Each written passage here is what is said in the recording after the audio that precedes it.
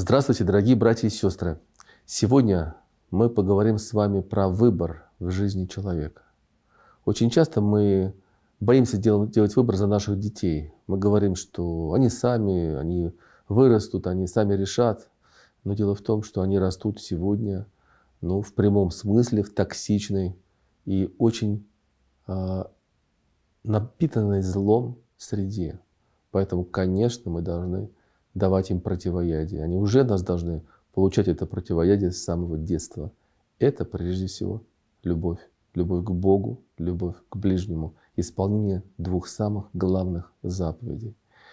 И ребенок должен понимать, что очень часто в течение дня он должен совершать несколько очень важных действий. Делать выбор в пользу добра, в пользу Бога. Очень часто у ребенка есть дилемма. Соврать родителям или нет.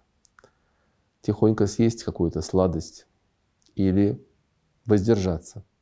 Ударить тихонечко сестренку, пока мама на кухне или нет. Отнять игрушку у братика или нет. Все это выборы. Это выбор. Каждый раз ребенок определяется, с кем он.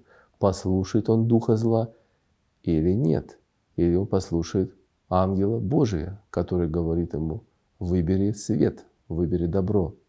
Научите детей понимать, что их выбор имеет реальное влияние и на их сегодняшнюю жизнь, и на их будущее.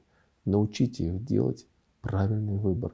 Он сложнее, он связан часто с тем, что приходится отдавать то, что тебе дорого – но он всегда приносит утешение и радость в душу человека. Как бы в самой душе открывается то, что этот выбор был правильным.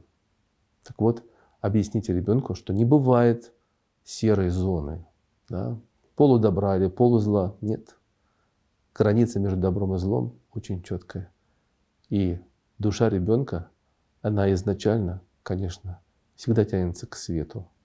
Будем же хорошими помощниками ему на этом пути. Научим делать правильный выбор.